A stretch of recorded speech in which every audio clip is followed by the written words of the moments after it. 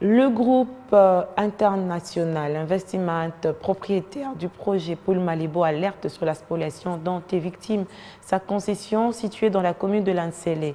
Face à la presse, le directeur général de ce projet de développement immobilier s'insurge contre le fait que les personnes non connues deviennent illégalement propriétaires des terrains réservés aux ayants droit.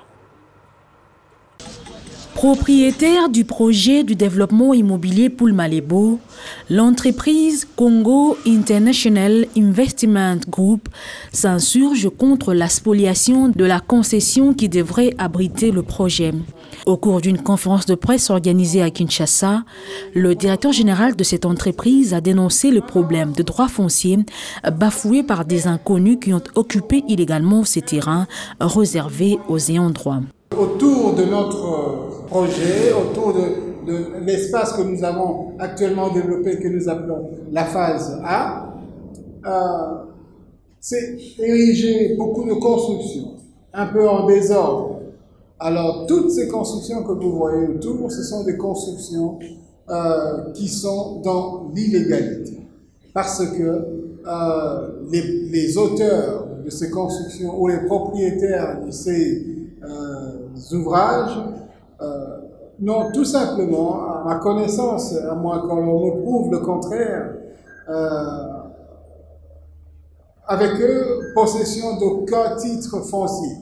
Les actions en justice sont déjà initiées pour mettre à nu tous les spoliateurs. Nous avons, nous, CIIG, obtenu de la RDC une collaboration qui signifie un partenariat et cela a été conforté l'attribution du certificat d'enregistrement ici présent.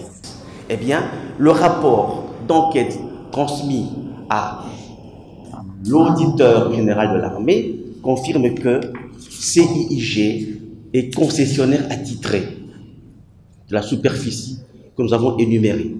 Nous allons faire initier des actions en justice pour justement mettre hors d'état de nuire tous les spoliateurs.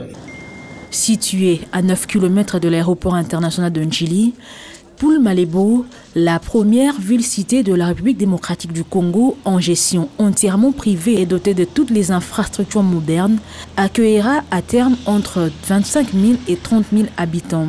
Il y sera construit près de 5 000 villas aux standards internationaux, un centre-ville avec des boutiques et autres espaces commerciaux, des installations sportives, un centre hospitalier, des écoles privées et un service de sécurité travaillant en collaboration étroite avec la police nationale congolaise.